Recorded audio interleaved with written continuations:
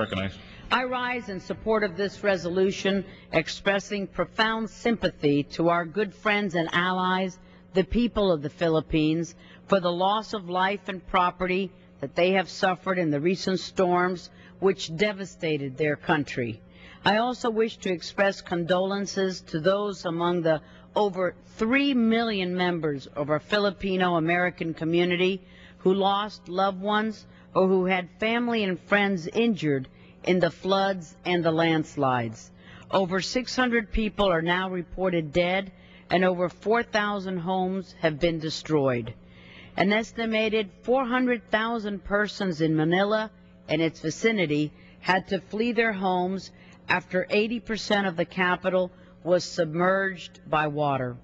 The damage is estimated to be almost $5 billion.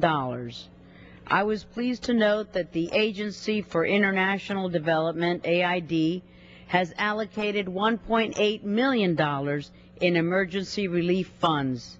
The ties between the United States and the Philippines are among the strongest we have with any Asian country. Our two peoples have stood together in war and in peace, with Filipino comrade in arms enduring with our own veterans the siege of Corregidor and the Bataan Death March.